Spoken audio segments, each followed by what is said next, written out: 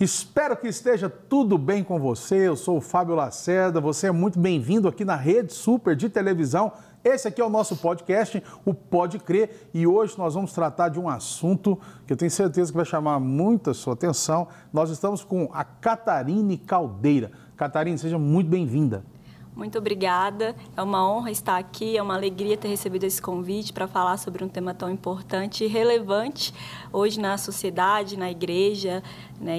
enfim. É uma alegria estar aqui. Muito obrigada mesmo. Bom, a gente que agradece, estou muito feliz de te, de te receber, porque não é todo dia que a gente encontra uma pessoa especialista nesse assunto. Você se declara uma, uma menina especialista no movimento feminismo. Isso, no feminismo, o movimento feminista, né, é, é, um movimento aí que diz lutar pelo direito das mulheres. Sim. A gente vai entender um pouco mais sobre isso que agora. Então, vamos dizer assim, o movimento feminista. Isso. Ele, é, você estudou sobre esse assunto. Esse assunto é muito falado nos dias de hoje. Né? Mas ele não é um assunto novo, né? Não, Isso aí já existe alguma. há mais de 200 é, anos. Tempo. Exatamente. A gente percebe que tem muitas pessoas que estão aderindo a este movimento, né? Muitas mulheres hoje se declaram feministas, né? Agora, o, a pessoa que fala que é feminista, ela é como se fosse ao contrário do homem machista?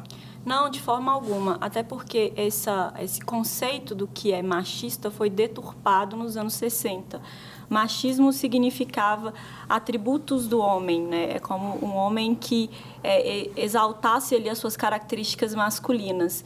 O certo, na verdade, é sexismo, porque sexismo engloba tanto homens quanto mulheres, que é o preconceito contra um sexo somente por causa né, do seu sexo. Então, uma mulher pode ser sexista quando ela tem preconceito contra o homem só por ele ser homem, ou um homem né, sexista é, que tem preconceito, né, discrimina uma mulher apenas por ela ser mulher. Então, o termo sexista engloba ambos. Já o termo machista é um termo que foi deturpado, né, que teve seu significado deturpado aí. Então, a gente não costuma usar esse termo machista feminista. Sim. Então, por isso que não é o contrário de feminismo. Sim. E, e, e, o, e, o, e, o, e a pessoa que é feminista, hoje, quando a pessoa se auto-intitula, fala, ah, eu sou uma mulher feminista. Você acha que é importante hoje uma mulher ser feminista? É importante ela aprender sobre esse assunto e ela querer fazer parte desse movimento? Eu acredito que é, se essa mulher, né, ao se declarar feminista, ela entende o que é o movimento e mesmo assim, né, com consciência, sabendo que ela o que ela é, o que é o movimento, ela pode ser, porque você pode ser, né, na verdade, o que você quiser. Mas a partir do momento em que você entende realmente o que é o feminismo e você não concorda com as pautas que o movimento é, traz, né, que o movimento propaga na sociedade, então acho um pouco perigoso aderir a essas causas. Existem vários tipos de feministas. As feministas radicais, que são conscientes do que realmente é o movimento. Existe ali as feministas de elite, que são as feministas que atraem toda a massa de mulheres pro movimento, é aquelas que fazem ali publicidade para o feminismo mesmo. E existe que é a grande massa de mulheres que não fazem ideia do que é o feminismo e aderem ao, ao discurso, ao discurso bonitinho, né? muitas vezes porque foi influenciada por, por artistas, ou pela amiga, ou pela universidade, na escola, né? porque é um, um movimento que, que, se, que se difundiu na sociedade há muito tempo e já tomou o imaginário de todas as pessoas. Entendi. Quais são as principais pautas hoje do, desse movimento? Para a gente entender quais são as pautas do movimento, a gente tem que entender primeiro o que é o movimento. Então, e, e, onde que ele surgiu? De onde que surgiu o movimento feminista? Né? Muitas pessoas a, acabam acreditando que é um movimento é, bom, né? que, que luta, que defende a mulher e que muita gente também acaba acreditando que o movimento feminista no princípio foi algo bom e só depois se deturpou e chegou no estado em que está. Mas o, o movimento feminista, né, como a gente citou aqui agora há pouco, é um movimento que existe há mais de 200 anos. E o que, é um movimento feminista? As pessoas elas costumam acreditar, porque isso já virou senso comum na sociedade, de que o movimento feminista é aquele que luta pelo direito das mulheres, né? que busca igualar os direitos das mulheres aos homens, que luta pela liberdade das mulheres. E essa foi uma mentira que se espalhou pela sociedade. Como dizia o ex-ministro de propaganda do Adolf Hitler, o Joseph Goebbels, ele dizia o seguinte, que uma mentira repetida mil vezes se torna uma verdade. Né? Quem já não escutou essa frase? E aconteceu exatamente isso. Esse conceito deturpado de que feminismo é busca por direitos iguais entre homens e mulheres foi difundido de tal forma na sociedade que isso já virou uma verdade já virou senso comum. Então, qualquer pessoa hoje que é perguntada a respeito do movimento vai responder exatamente isso. E qualquer pessoa normal, né? Ninguém em sã consciência vai ser contra o direito das mulheres. Então, costuma-se é, a, mulher, até mesmo homens, né, para não serem chamados de machista né, ou de sexista, falarem que são feministas, porque ninguém que que ama as mulheres, que res, respeita as mulheres, que entende que as mulheres têm alguma dignidade, vai ser contra o direito delas. Só que, na verdade, o movimento ele usa, né, como eu disse, esse, esse conceito como uma forma de publicidade. O movimento, na verdade, não é isso. E aí a gente volta na história para poder entender o que é o movimento feminista e a gente chega lá no século XVIII, lá no final do século XVIII, ali na França, ali onde estava acontecendo a Revolução Francesa. Então, assim, né, é, muita gente acha que, que o feminismo é, é, algo novo, mas é um movimento histórico. Então, a gente tem que entender um pouco de história também para poder entender o que é o feminismo. E ali naquele contexto de Revolução Francesa, né, de, de iluminismo, é, né, de, de várias coisas sendo reivindicadas, uma delas foi sobre o feminismo. E aí a gente é, a, vai falar aqui de, um, de uma outra questão que quase ninguém sabe, que o movimento feminista é um movimento criado por homens, homens revolucionários ali naquele contexto, né? O que que o que que pensavam esses homens? O que que eles defendiam, né? Um movimento que a gente acredita que é um movimento de mulheres, mas que foi criado por homens. Esses homens, eles foram os precursores da revolução sexual, né? A revolução sexual é você usar o sexo na sociedade para poder controlar politicamente a sociedade. Então, aqueles homens ali, na, naquela época, eles defendiam, é, defend, eram contra o casamento, eles defendiam o fim da monogamia, casamento entre homem e mulher. Né? Eles eram a favor da, de todo tipo de moralidade sexual, mas eles defendiam o divórcio, eram a favor do adultério, eles eram contra a igreja né, contra o cristianismo. O lema daqueles homens, inclusive, né, que estavam ali participando da Revolução Francesa e tinha essa mente bem pervertida, era a seguinte: que o ser humano só seria livre quando o último rei fosse enforcado nas tripas do último padre. Então é algo bem agressivo. É, é eles não escondiam o caráter revolucionário e anticristão ali daquelas ideias deles, né? Então aquele período ali em que aqueles homens lançaram as primeiras sementes, aquelas primeiras ideias, a gente conhece como protofeminismo, né? o início ali das ideias feministas, apesar de que não existia esse nome ainda, né? ele veio a, a ter esse nome né, muitos e muito tempo depois. E esses, né, alguns desses homens que, que tinham essas ideias eram homens bem perversos. Um deles é o Marquês de Sade. E é dele que deriva aquele termo sadismo, né, que todo mundo conhece, Sim. sadomasoquismo. E o Marquês de Sade era um homem assim, extremamente perverso. Foi ele, inclusive, que criou e introduziu a pornografia na sociedade. Então, olha, para você ver, né, a, a, raiz do feminismo aí, ela já é perversa. A gente já entende que o negócio está errado desde o princípio. Um desses homens também, né, outro homem, que ficou bem conhecido na época como um dos principais divulgadores dessas ideias, ele chamava William Godwin, que ele era um ex-pastor calvinista que apostatou da fé e abraçou essas ideias revolucionárias, essas ideias sobre revolução sexual. E ele também militava, né, ele advogava, ele escreveu um livro muito famoso na época chamado é, Ai, esqueci o nome agora. Mas, enfim, nesse livro, ele defendia o anarquismo. Tanto que esse William Godwin, ele é conhecido como o pai do anarquismo. Né? Então, ele defendia nesse livro, ele defendia a, as ideias contra o casamento, contra a igreja, né? porque ele tinha acabado de apostatar da fé. Então, ele era totalmente contra o cristianismo. Ele defendia o direito da pessoa de, de ter uma relação fora do casamento, né? ou seja, ele defendia o adultério, era a favor do divórcio, era a favor de que as pessoas tivessem liberdade para poder é, explorar ali os seus desejos mais perversos né? Na, no âmbito ali do sexo. Então ele era um homem muito perverso também. Só que ele acabou casando, mesmo sendo contra o casamento.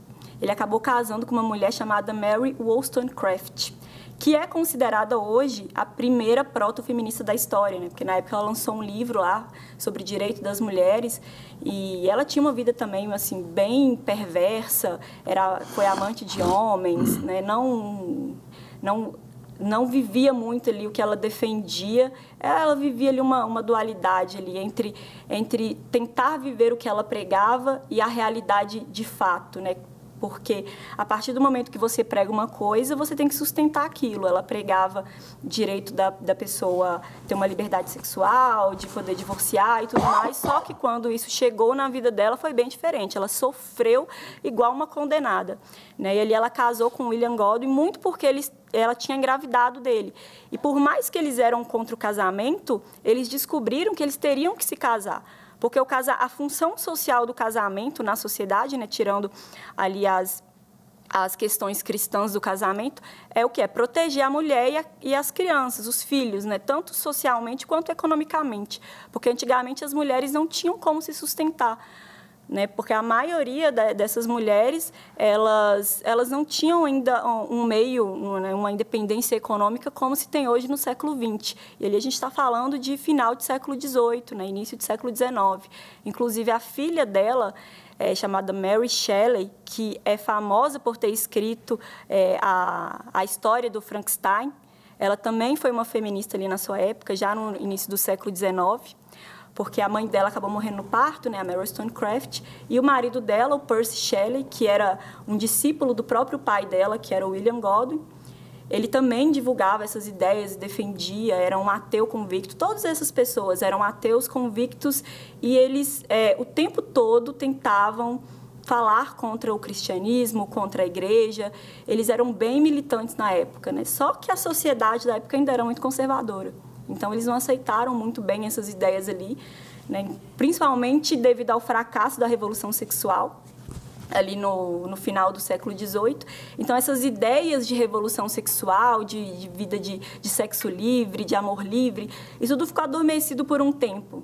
Né? Então, o movimento feminista acabou ficando, né, o que a gente conheceria posteriormente como movimento feminista, ficaria adormecido ali durante um tempo. E aí começa a voltar a ressurgir em 1848 com algumas mulheres sufragistas, mas sobretudo com Karl Marx, né, que aí é o pai do socialismo utópico, né, do marxismo, com ele e com Frederick Engels, né, que era o amigo ali, sócio principal dele é, nessa, nessa ideologia. E aí, em 1884, o Karl, 1883, o Karl Marx morre, mas ele deixa ali alguns manuscritos, algumas coisas escritas, e aí, um ano depois, o, o Frederick Engels pega esses escritos que ele deixou e publica um livro chamado a, a, a, Origem da Propriedade Privada, A Origem da Família, da Propriedade Privada e do Estado. E nesse livro, eles falam sobre a origem das famílias na sociedade, eles né, inventam lá uma teoria que, de que a, a família surgiu de tal forma na sociedade e eles abordam ali vários tipos de famílias. E uma dessas famílias, as, as que aqueles mais se dedicaram a, a falar mal no, nessa, nessa obra, nesse livro, né, aqueles mais se dedicaram a atacar, é a família monogâmica, homem e mulher, família heterossexual. E eles elaboram uma teoria de que a família é que gera desigualdade social na sociedade. A família é que origina a propriedade privada. Então, se eles queriam uma sociedade sem classes, uma sociedade igualitária, uma sociedade comunista, então eles precisariam eliminar a família. E eles falam também muito nesse livro que é a família monogâmica que gera a opressão da mulher, que o homem é inimigo da mulher, ele que oprime a mulher e a mulher só terá liberdade, ela só será emancipada, totalmente livre, terá direitos iguais com os homens quando a família monogâmica for destruída. E aí, né, o paraíso na Terra passaria a existir. E aí, como que esses homens, eles, né, é, a teoria deles, ele, como que elas seriam colocadas na prática? Eles primeiro teriam que atacar a mulher. Porque, ao contrário do que se imagina, né, as mulheres elas sempre foram, a, vamos dizer assim, as guardiãs da moralidade na sociedade. O movimento feminista ele faz você acreditar que são os homens, né, que sempre é, cobraram das pessoas uma, uma conduta moral, mas não, era as, as mulheres sempre foram as guardiãs da moralidade na sociedade. Então, a partir do momento que você subverte a identidade da mulher, você acelera a destruição da família, a desagregação familiar. Então, por isso que o foco, né, o objetivo principal deles ali era começar subvertendo a mulher. E de que forma eles fariam isso? Voltando, né, através da revolução sexual, voltando com as ideias que começaram ali no século XVIII. E aí começa todas as pautas, né, do movimento do, da revolução sexual, que eu, eu, costumo falar que revolução sexual e feminismo é, são sinônimos, é a mesma coisa. Só que é um nome meio grotesco, né, para se fazer publicidade na sociedade. O nome feminismo ele é, ele é parece ser menos ofensivo. Então, começa-se ali a implantar novamente aquelas ideias de revolução sexual na sociedade ali é, no início do século XX, e aí teve a, a Revolução Russa, né, onde ele né, tentou-se fazer uma, uma luta, uma revolução armada na Rússia e tal, tal, tal, e ele se começa implantar as ideias de revolução sexual na sociedade, só que ainda de forma muito velada porque a sociedade ainda era bem conservadora. Foi, é, essa é conhecido como a primeira onda do movimento feminista. Inclusive, muitas pessoas acreditam que a primeira onda do movimento feminista foi algo bom. Por quê? Porque tem a ideia na sociedade, né, o senso comum acredita que na primeira onda a mulher conquistou o direito ao voto, o direito de trabalhar, é, o direito de estudar e outros direitos civis. E como essas pessoas acreditam que foi o feminismo que conquistou essas coisas para as mulheres, então elas acreditam que essa primeira onda foi boa. Só que, na verdade, elas elas deturparam essas pautas, né? Elas utilizavam essas pautas para poder atrair ali, começar a atrair um número de mulheres para o movimento e tentava deixar ali mais escondido ali as pautas sexuais, né, relacionadas a aborto, a, a, a uma vida sexual livre, tal, tal, tal. E então, quais são essas pautas da revolução sexual? É, contra o casamento, né, colocar na cabeça da mulher, olha, a gente vai primeiro subverter a mulher, a gente vai começar por ela né, que hoje que é o que a gente conhece como movimento feminista. Né? As pessoas acreditam que o feminismo é um movimento de mulheres, porque desde o princípio ali a mulher foi essa principal vítima, a ser atraída pelo movimento. Então, quais são as ideias que começou a se incutir na cabeça da mulher? Que ela deveria rejeitar o casamento, que é nela não. Olha, você não precisa casar. Foca primeiro na sua carreira, vai, vai, vai trabalhar, vai ser independente financeiramente depois você pensa em família, né? depois você pensa em ter filhos. É, e aí o, o, o, outras ideias que iam sendo incutidas na cabeça dela, né, ao mesmo tempo, é que ela tinha que ter liberdade sexual para poder ter quantos parceiros ela quisesse. Só que é impossível você dar liberdade sexual para a mulher sem que haja as consequências dessa liberdade sexual. E quais são essas consequências? A gravidez. A, é, a consequência mais óbvia é a gravidez. Então, para impedir que as mulheres tivessem uma vida sexual livre e vivessem engravidando, começou-se a dar para as mulheres métodos contraceptivos. Né? Então, e liberação do aborto, né? Você não, você pode ter a vida sexual livre do jeito que você quiser. Só que se você engravidar, a gente vai te dar o direito ao aborto. Então, aí começou-se né, a ter, a, a, a, a, se clamar por esse direito ao aborto né, desde ali da, da década de 1920. Inclusive, uma das principais feministas da história, que é a Margaret Sanger, ela foi a, ela era abortista, ela criou a primeira clínica de aborto do mundo lá nos Estados Unidos. E, e ali, né, continua ali com, a, com, as outras ideias, né, incutindo na cabeça das mulheres e principalmente a partir ali do, da, da, segunda metade do século XX, ali na década de 60, 70, começa-se mais intensamente, porque já passa a primeira onda e já entra a segunda. E aí as pautas de revolução sexual entram pesado. Porque lembra que eu te falei que na primeira onda, essas pautas elas eram meio escondidas, né? Para que não assustasse as mulheres, vamos dizer assim. Porque se, se eu chegasse lá falando que o movimento feminista era a revolução sexual, ninguém ia querer aderir. Então, eu começo falando ali que é direitos iguais, acesso a, a, ao mercado de trabalho, voto, que aí eu consigo atrair muitas mulheres para o movimento.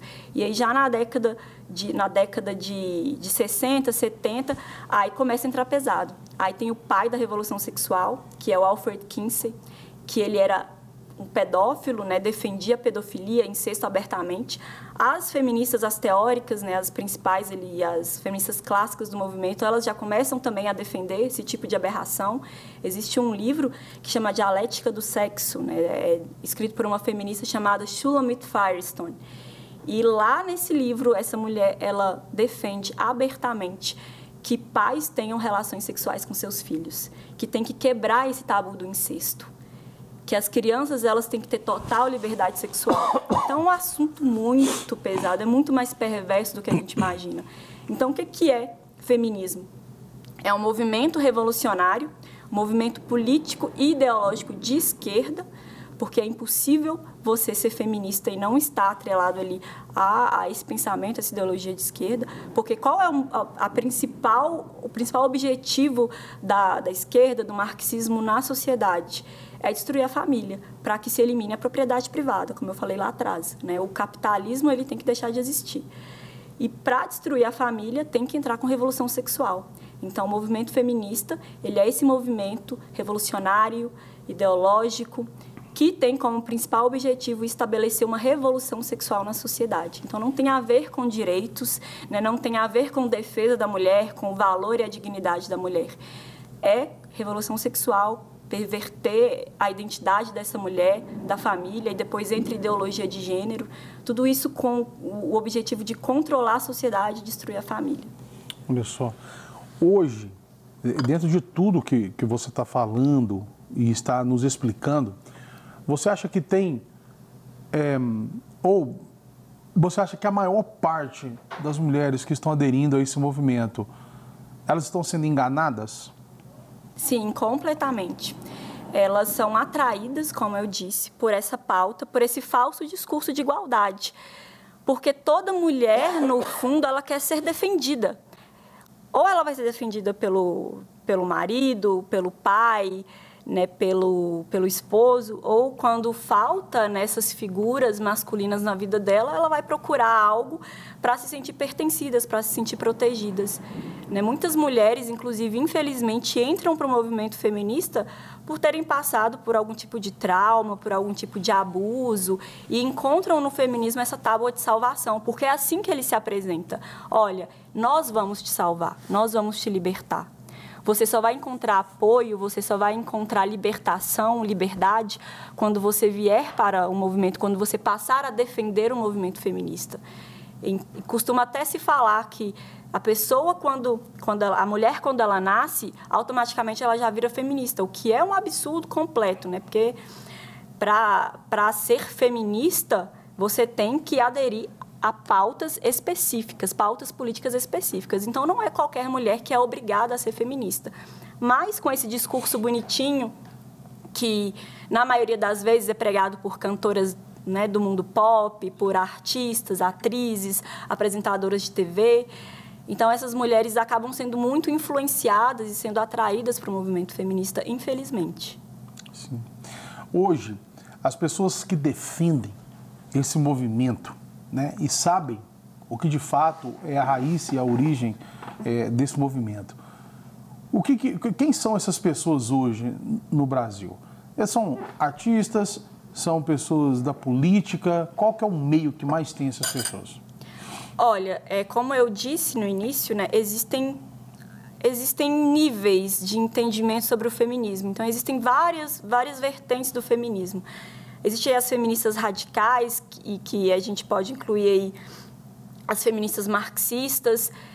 que estão dentro dos partidos políticos. Essas pessoas elas atuam ali no topo da pirâmide. Né? Quem são essas pessoas? São professores e professoras doutrinadores nas universidades, nas escolas. Né? Ela, essas pessoas elas também foram doutrinadas um dia para depois poderem doutrinar também. Então, essas feministas que estão dentro das universidades, é, que estão ali se manifestando, fazendo passeatas, né, a grande maioria delas sabem o que é o movimento feminista.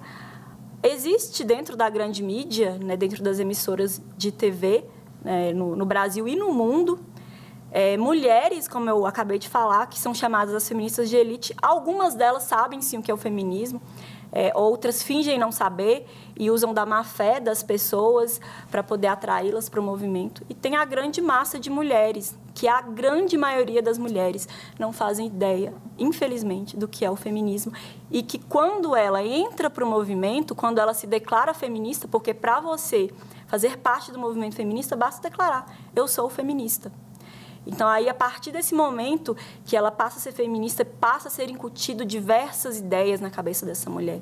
Ela passa a adotar é, pautas, né? ela passa a ser influenciada ali o tempo todo, a, mente dela passa a ser bombardeada com ideias de subversão, hum. né? enfim. E essas mulheres, mesmo que elas não saibam, elas estão contribuindo para a destruição delas próprias. Porque Sim. o feminismo ele é um projeto, né, um, um, algo que existe na sociedade para destruir toda a, a, sociedade, toda a família, mas a primeira pessoa que é destruída é a própria feminista. E isso a gente vai ver exemplos na história com as próprias feministas mesmo, como, por exemplo, a Simone de Beauvoir, que foi uma das principais feministas é, da história do feminismo. Ela é, né, foi uma grande teórica, ela é considerada a mãe do feminismo. Ela atuava ali no, no, no, século XX, entre os anos 30, 40, 50. Ela escreveu um livro muito famoso, que é, é tipo um, uma bíblia do feminismo mesmo, chamado O Segundo Sexo. E a Simone de Beauvoir teve uma vida, assim, desgraçada é, infelizmente, ela acabou indo por um caminho assim destruidor, que né, destruiu a própria vida dela. Ela aderiu todas as pautas do movimento, ela entrou, né, desde o princípio ali, ela encontrou pessoas que, que tinham os mesmos pensamentos que ela, inclusive aquele que viria a ser companheiro de vida dela, né? Não, não, não vou chamar de marido porque eles não chegaram a se casar, porque eles eram contra o casamento, que é um filósofo muito famoso, né, muito relevante, que é o Jean-Paul Sartre. Né? Muitos de vocês acredito que já devem ter ouvido falar, pelo menos na, na escola, na universidade, já, já se ouviu falar um pouco do Sartre. E ele era companheiro ali da Simone de Beauvoir eles tinham um acordo entre si que eles poderiam ter os parceiros que eles quisessem. É, era um, um, tipo de relacionamento aberto. Eles foram meio que os precursores do relacionamento aberto na sociedade, sabe? E eles tinham alguns acordos, como por exemplo, olha, é, não podemos sentir ciúmes um do outro. Só que isso é muito bonito na teoria, porque na prática isso não existe. E aí, quando ambos começaram a ter seus parceiros ali fora do relacionamento, aí começou ali aquele a, a, a, aquela ciumeira, né? Tipo, principalmente a Simone, porque o Sartre ele era mais, mais tranquilo. Agora a Simone de Beauvoir ela era muito ciumenta, muito possessiva e ela mentia para, né? Para para as pessoas, para os jornalistas, é, para os livros. Nos próprios livros que ela escrevia, ela falava que o casamento dela, né, que o relacionamento dela com Sartre era as mil maravilhas. Mas isso sempre fez parte do movimento feminista. É viver algo e falar outra coisa. Sim. Olha, eu quero te fazer uma pergunta, que é o seguinte. Quando uma pessoa dessa que está sendo enganada, para que haja uma reflexão, ela fala com você, olha, eu sou feminista. Qual que é a primeira pergunta que você faz para ela, para poder, igual o pessoal gosta de falar, desconstruir isso na cabeça dela, não é? Sim, então, a primeira pergunta que eu faço para ela é o seguinte: você sabe o que é o movimento feminista? E aí, geralmente, ela chega com aquela mesma resposta que eu falei aqui no início, né? com aquele mesmo conceito. Sim, o movimento feminista é um movimento que busca igualar o direito dos homens e das mulheres, e aí ela começa a me chamar de burra. Né? Sempre assim, manda eu estudar, manda eu pesquisar no Google, falam que eu não sei o que é o feminismo que eu falo tudo da minha cabeça. E aí eu começo a questioná-la se ela já leu algum livro. Além do, da pesquisa que ela faz no Google, se ela já leu algum livro. E, sobretudo, se ela leu os livros das próprias feministas. Que é importante né, falar para as pessoas que elas devem ler os livros das feministas, porque nada melhor do que você procurar direto na fonte para você entender algo. Se eu quero saber sobre o Evangelho, sobre, a, sobre Cristo, sobre Deus, eu vou ler a Bíblia.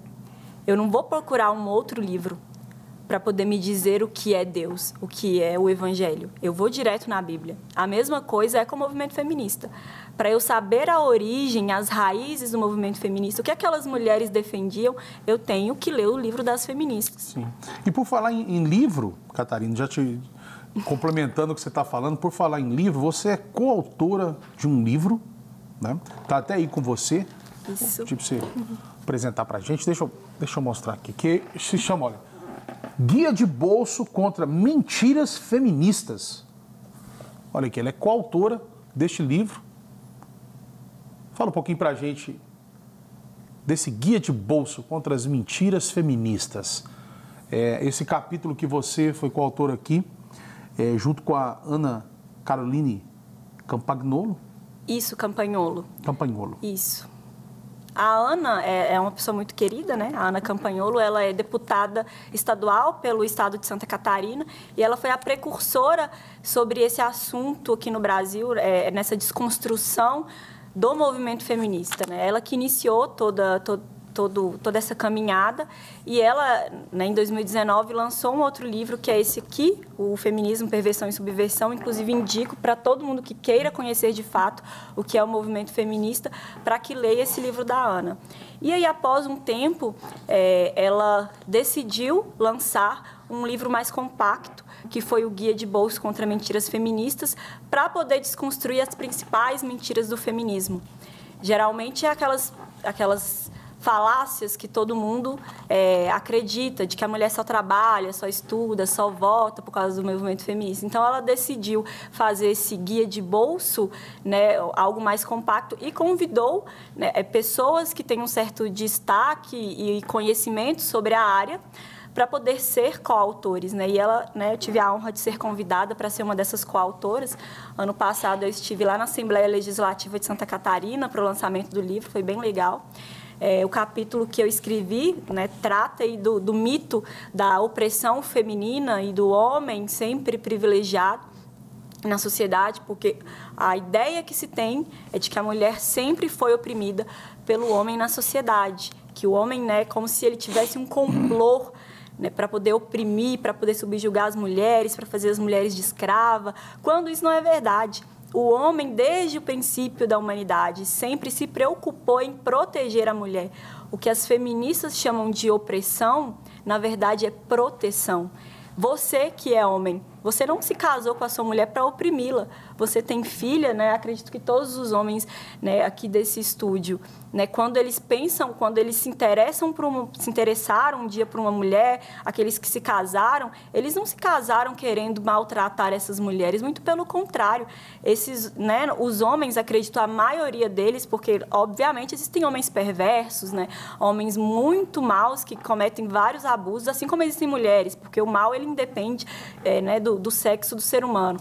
Né? Mas o, os homens, a maioria dos homens, quando eles se casam com as mulheres, a, a, a principal objetivo dele é proteger aquela mulher, amar aquela mulher. Ele faz de tudo para poder é, resguardar a vida dela. Né? O meu pai, por exemplo, eu, eu, tenho ele como exemplo muito forte na minha vida, porque ele é, faz de tudo né? Lá em casa, a gente costuma brincar que é a casa das sete mulheres, porque a minha mãe, eu, mais duas irmãs, duas avós e uma tia-avó. E ele é o único homem da casa e ele, né, seguindo aquele princípio bíblico, ele dá a vida por todas nós. Então é um mito, né, dizer que o homem sempre oprimiu a mulher e que é, né, a, o homem é o inimigo da mulher. Muito, muito pelo contrário. É, exatamente. Eu concordo com você nisso aí. É, mas, mas só, só, desculpa antes de eu, de eu, falar isso que eu vou falar. Queria só que você mostrasse mais vezes, falasse do livro. Eu falei, falei o nome dela errado aqui, você me perdoa. É, é Ana Carolina Campanholo. Isso, Ana Caroline Campanholo. E como que chama o livro dela? Feminismo? Feminismo, Perversão e Subversão. Tá, Feminismo, Perversão e Subversão. Você que está em casa depois, se você quiser, pesquisa sobre esse livro, adquire um aí, que vai ser ótimo para você. Mas a gente vê você explicando é, sobre isso, que, que realmente é um movimento que ele tenta demonizar o homem, né? Coloca o homem como uma figura é, ruim em todas as esferas, né? E obviamente que nós somos maduros para entender e para saber que é claro, gente, que existe homens perversos, é, maridos que foram monstros, né? Que aprisionaram mulheres, que, que agridem mulheres até hoje, né? Isso acontece, infelizmente, todos os dias. É só a gente pegar as páginas policiais né? e, e, e ler que a gente vai ver todos os acontecimentos terríveis que tem. É, você falou que tem das mulheres também, mas assim, claro que, que dos homens é, é muito mais porque é, um homem, biologicamente, ele é mais forte que uma mulher, né? Muito mais fácil é um homem agredir uma mulher do que a mulher agredir o homem, claro. Mas é, na, na, sua, na sua grande, no, no, no grande número dos, do, dos casamentos, um homem casa, né, claro, com essa intenção, é de proteger a família. Eu tenho uma esposa, que é a Simone, tenho a minha filha, Esther, a minha mãe, que graças a Deus é viva, tenho três sobrinhas é, mulheres e minhas cunhadas são como, como minhas irmãs, eu tenho cinco cunhadas. E, então, assim, eu tenho uma ótica né, com, com, com as mulheres da minha vida, principalmente as mulheres de dentro da minha casa, que é minha esposa e minha filha, é de total proteção mesmo. Né? Eu, quando tem que fazer um, um, um esforço lá em casa, né, eu quero que eu faça esse esforço. Né? Eu não quero que a minha esposa faça, que, que a minha filha faça. Lógico que por, por falta né, de, um, de, de homens que são machos, e quando eu estou falando macho, no sentido assim de, de, de assumir o seu papel como homem, muitas mulheres teve que assumir determinados papéis de homens, Sim. né? No que diz respeito à criação de filhos, por exemplo, né? Tem pessoas que eles não foram homens suficientes para assumir um lar, né? É, e aquela mulher teve que fazer esse papel, ela teve que desempenhar Exatamente. esse papel, né? Então tem muita e, e desempenharam muito bem, né? Tem muitas mulheres que que elas foram mãe e foram pais para o filho, porque ele não tinha aquela figura masculina dentro de casa. E, e, existem filhos que foram muito bem criados por essas mulheres que infelizmente não tiveram o apoio é, do pai daquela criança. Né? Mas naturalmente não é esse que é a melhor receita. Né? Naturalmente não é isso que vai dar certo. Tem, porque você pega para todo filho que é grato a uma mãe que o criou sozinha. É, que tem aquela gratidão, que fala assim, olha, eu sou a pessoa que eu sou hoje porque minha mãe deu o melhor dela para mim, ela cuidou de mim, ela trabalhava, ela, ela se virava para sustentar a gente e tal. Mas que quem que quer escolher, fala assim, ah, eu quero escolher ser criado sem meu pai, ou né? sem minha mãe também? Ninguém, né? porque Ninguém o ideal quer. é que tenha a família unida, uma família é. completa, pai, mãe, né, irmãos, mas infelizmente nem sempre isso é possível. E assim, se a gente for analisar a história, né, do princípio até agora, é, assim, felizmente é a minoria que teve que passar por esse tipo de situação, a minoria das mulheres, e não a maioria como querem nos fazer acreditar. Porque se a gente parar para pensar, a mulher, ela é mais frágil do que o homem fisicamente falando, né, principalmente o homem, ele tem uma força física muito superior à da mulher. Então, por isso, por exemplo, que a mulher não trabalhava em determinadas profissões no passado porque ela não tinha capacidade é, física, né? não tinha força física para poder exercer certas profissões, porque antigamente as profissões elas eram mais braçais. É. É, somente né, muito tempo depois que as profissões elas foram mudando suas configurações. E, e aí você para para pensar o seguinte: se realmente as mulheres sofreram opressão o tempo todo, se os homens realmente sempre foram os inimigos das mulheres, sempre quiseram é, destruí-las, oprimi-las, subjugá-las, as mulheres, né, sendo minoria, hoje é maioria, mas né, nos, no, na maior parte da história elas eram minoria. Se as mulheres realmente tivessem sido oprimidas por esses homens, as mulheres nem existiriam mais. E é justamente por, o, por, por, por os homens serem protetores das mulheres e tentarem fazer de tudo para melhorar a vida delas, é que elas estão vivas até hoje, chegaram até aqui, inclusive em grande maioria. Por exemplo, né, trazendo um exemplo prático para isso. As mulheres sempre morreram nos partos antigamente, porque a medicina ela não, não tinha um avanço da medicina, não tinha um avanço da ciência, da tecnologia. E aí, por causa desse avanço da ciência, da tecnologia, da medicina, que né, é, é importante lembrar que foram os homens que, que fizeram tudo isso, né, ou pelo menos a grande maioria foram homens, eles melhoraram a medicina para poder melhorar a vida da sociedade como um todo, obviamente, mas as maiores beneficiadas foram as mulheres. Hoje é muito mais difícil uma mulher morrer no parto do que antigamente, porque tudo, tudo, tudo melhorou. Então, o homem ele sempre trabalhou para melhorar a vida da mulher. É, o homem teve, com certeza ele tem um papel importante e ninguém está aqui, né? É bom a gente deixar muito claro, porque você sabe que tem determinados tipos de pessoas, você tem que explicar no, nos mínimos detalhes, né? tem, né? Senão elas não... Tem que desenhar ela, e explicar é, o desenho. Elas não entendem. Então, obviamente que nós não estamos aqui é, o homem nem precisa ser defendido, né? Mas o que nós estamos querendo é tirar da cabeça das pessoas, de uma jovem que está nos assistindo, né? O que este movimento tem implantado, que você ter um marido vai ser ruim, que você ter uma família vai ser ruim, né? Que os homens só fizeram coisa ruim até hoje, que a mulher foi foi, foi privado dela o, o direito dela ter direitos iguais aos dos homens. Eu acho até que as mulheres tinham que ter direitos até a mais. Na né? verdade, né? as mulheres têm mais é, direitos do que os homens. É, pois é, você entende mais desse assunto. Né? Eu, eu, em nenhum momento a gente pensa assim, ah, não, mas elas não podem lutar. Imagina, né? eu sou a favor né, de todos os direitos possíveis, assim, e mais ainda para as mulheres, que a mulher, ela, ela é um ser maravilhoso. Em força física, algumas, né, é, é, são mais ela é mais fraca que um homem, biologicamente, lógico, você fala, mas tem uma mulher ali mais alta que um, mas um cara, é, o cara mais é baixo é a exceção, né? É a exceção. Mas ela é mais fraca. Só que isto é fisicamente, né? Espiritualmente, por exemplo, quem sustenta uma casa em oração é a mulher. Uma mãe sozinha cria dez filhos, sozinha. Um, um pai, às vezes, não cria um. Né? Não cria um. O dois, então, três, eu sei, eu tenho dois filhos. Tempo desse atrás, a minha mulher viajou pela primeira vez sem a gente, sem as crianças, e eu também não estava com ela, eu fiquei em casa. Ela deixou uma lista de coisas pra, que eu tinha que fazer, assim, com as crianças, ó, tal hora é isso, aí eles tomam café, daí eles, eles é, têm para casa, tem isso, e eles vão, tem que pôr isso para dormir tal horas e tal nós quebramos todas as regras no primeiro dia, né? Porque eu não consegui.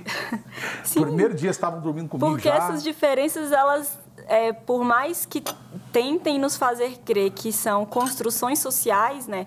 Ah, porque o movimento feminista diz que, que a mulher ela foi ensinada a, a ser do jeito que ela é hoje. Na verdade, não. Isso são coisas que nascem com os homens e com as mulheres. E cada uma das características, tanto masculinas quanto, quanto femininas, tem uma função específica e especial na sociedade. Né? Os homens, eles... Né, desde ali o, o seu nascimento, desde, o, desde a gravidez, na verdade, porque essas diferenças biológicas são definidas ainda no útero da mulher. É, então, desde o nascimento, os homens eles têm uma tendência para coisas, as mulheres para pessoas, para o cuidado. E o que seria do mundo sem o, o cuidado das mulheres, sem essa visão detalhista sobre cada coisa? Na mesma coisa, né, os homens ali, eles têm as suas qualidades específicas que são próprias dos homens. Então Deus fez cada um com um papel distinto na sociedade. E esses papéis se completam. O problema é que o movimento feminista quer eliminar a diferença desses papéis e dizer que você pode fazer o que você quiser, quando na verdade isso é uma grande mentira, porque ninguém pode fazer tudo o que quer nem o homem nem a mulher, por mais que se queira. Por exemplo, o movimento feminista, ele reivindica né, para que as mulheres ocupem determinados cargos na sociedade. E aí as mulheres vão lá e realmente passaram a ocupar. Né? Não foi o movimento feminista que conquistou esse direito para a mulher, né? É, foi, foram outros eventos, né? outras questões. Mas é, o movimento feminista vai lá e fala ah, tem que ter mais mulheres em, em cargos de chefia, é, em, em, em profissões de maior destaque. Mas aí você não vai ver o movimento feminista é, né, falando para a mulher para ela trabalhar em empregos que são mais perigosos, que são mais difíceis, né? Você não vai ver uma mulher, por exemplo, em cima de um poste da CEMIG mexendo lá naqueles fios de alta tensão. Você também não vai ver uma mulher numa, no, trabalhando na Copasa, mexendo ali naquelas tubulações, porque as mulheres não querem, porque não é da natureza dela escolherem certas profissões. É, não, é errado, mas ela Pode não ser quer. até que tem, que hoje em dia com o número de pessoas né, trabalhando... E, e mas é uma minoria, né? Né? Mas é um caso ou outro, não é o, o, o natural. Exatamente. Isso não tá justamente. isso. Não tem problema nenhum nisso, né? Como não tem problema nenhum quando, quando as pessoas falam assim. É, é, mas tem mulher que não trabalha. Ah, o que, que ela faz então? Não, ela é do lar. Mas como não trabalha? Né? Uma mulher que é do lar, que cuida de filhos, que cuida da casa, ela trabalha muito mais, às vezes, do que um homem que está dentro de uma empresa, está dentro do, do, do, de, uma, de uma indústria, né? Você Exatamente. trabalha muito, isso é um trabalho também. Então, se, se e é mulher, um trabalho já, já extremamente digno e importante para a sociedade. importante e que o mundo não sobreviveria sem ele. Exatamente, né? exatamente. Então, o que, o, que, o que a gente tem que deixar claro é isso, já que esse movimento né, quer, quer pregar que a mulher ela pode ser o que ela quiser, então não tem problema nenhum você, minha amiga, que está nos assistindo, de dizer assim: olha, eu sou do lar, eu, eu quero trabalhar aqui para minha família, porque isso é um trabalho. E Exatamente. é um trabalho árduo, e um trabalho pesado. que dá frutos né, é, extraordinários na sociedade, porque todo grande homem foi educado por uma mulher que foi a mãe, ou a avó, ou a tia, né? Só que o que, que o movimento feminista diz? Isso quem, quem escreveu, quem falou, foi uma das principais teóricas do movimento que eu acabei de falar sobre ela aqui, que é a Simone de Beauvoir, né, a queridinha das feministas. Ela falou o seguinte, que as mulheres não podem ter a opção de ficar em casa, de cuidar do lar. Porque se elas tiverem essa opção, elas vão escolher ficar dentro de casa. Então elas têm que ser, eh, as mulheres devem ser obrigadas a ir, a ir para o mercado de trabalho, a priorizar a carreira, é, a não se casarem, a não terem filhos, porque como ela sabe que a natureza da mulher é para a família, eu estou falando aqui da maioria, obviamente, né, existem exceções à regra, claro. mas a natureza geral da mulher é para a família, é cuidar da família. Então, a, a Simone de Beauvoir vai falar que ela não tem que ter essa opção. A escolha dela não deve ser respeitada. Mas como assim? Eu não posso ser o que eu quiser? O feminismo não me dá o direito de ser o que eu quiser, então por que, que eu não posso ser uma dona de casa? Por que, que eu não posso é, escolher cuidar do meu marido, dos meus filhos? Por que, que eu não posso escolher ter uma vida diferente daquilo que prega o movimento feminista? Tá aí, fica a reflexão, viu? Para você que nos ouviu até aqui. Olha, quero te agradecer muito, Catarina, por você ter disponibilizado esse tempo para vir aqui no programa para falar sobre um assunto tão delicado, que eu sei que é polêmico, tem pessoas que não vão concordar com as coisas que foram faladas aqui, mas nós não estamos falando aqui que é para você que a pessoa concordar ou não, nós estamos aqui falando uma realidade, né? São é, fatos e históricos. E tem uma outra questão também que eu sempre gosto de, de falar para as pessoas que discordam de mim. Eu falo o seguinte: não precisa acreditar em mim. Pesquisa para saber se o que eu estou falando é verdade. É, é, como ali os bereanos, bereanos, né, falar, Isso. eles eles não acreditavam de pronto ali no que no que era pregado para eles, eles iri, eles iam conferir para saber se aquilo ali era a verdade. Então, o mesmo conselho eu dou para todas as pessoas que concordam ou discordam de mim. Procura saber se o que eu estou falando é verdade procura saber a, a, verdade por sua conta própria. É assim que eu sempre fiz na minha vida. Eu nunca me contentei em escutar algo e aceitar aquilo ali é, como uma verdade incontestável ali de prontidão. Eu sempre pesquisei para saber se o que aquelas pessoas estavam falando para mim era de fato a realidade. Então, esse é o conselho que eu dou para todo mundo, concordando ou discordando de mim. Olha aí, está falado por uma pessoa que entende do assunto, que estudou, que se dedica a isso. Está aqui o livro dela, que ela é coautora, Guia de Bolso contra Mentiras Feministas. E vamos deixar também o Instagram dela aqui na tela, que é Catarine Caldeira. Isso, é isso? Catarine Caldeira. Então, arroba... TH e é no final. Aí, ó, tá aí na tela já, Catarine com TH Caldeira. Começa a seguir ela lá. Você que está assistindo essa entrevista agora, entra lá e fala assim: eu acabei de assistir a entrevista. Ela vai deixar lá como é que você adquire este livro também. Fantástico.